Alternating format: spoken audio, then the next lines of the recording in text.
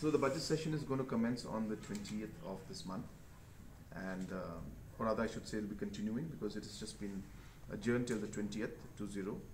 and um, the full budget will be passed